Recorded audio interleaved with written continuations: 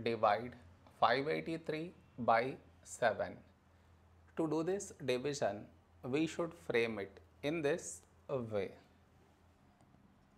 583 here, 7 here. This is your step 1.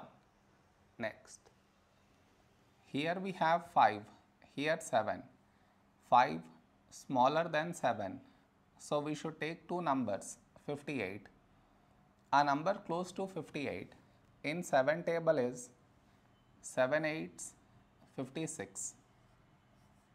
Now we should subtract, we get 2.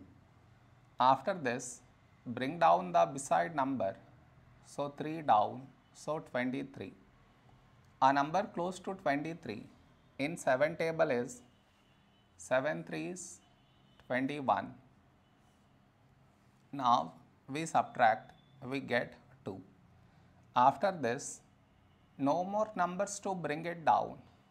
So what we do is we put dot take 0. So 20.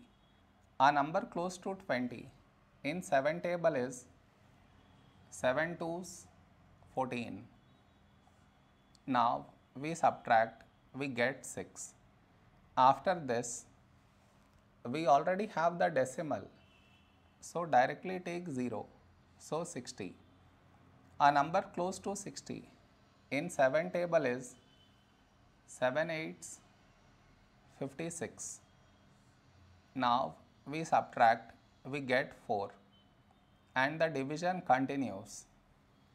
It is enough if we do up to 2 decimal places